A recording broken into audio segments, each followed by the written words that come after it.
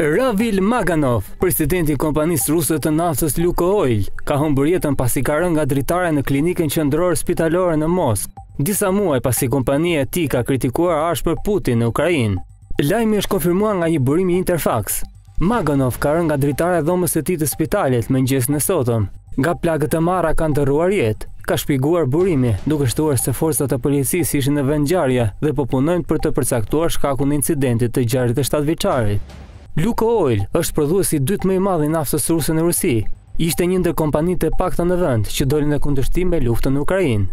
Maganov kishte punuar me Lukoil që nga viti 1993, menjëherë pas krijimit të kompanisë dhe kishte mbikëqyrur rafinimin, prodhimin dhe eksplorimin e saj, duke u bërë kryetar në vitin 2020.